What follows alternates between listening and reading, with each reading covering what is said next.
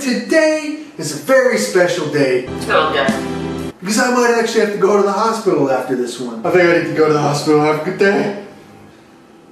I am the LA Beast, and this is the habanero flavored gallon of Tabasco challenge. Okay, this is the words I give. Have a good day. Feels like my stomach is a furnace right now. Oh god. I feel like I'm gonna throw up all over the place.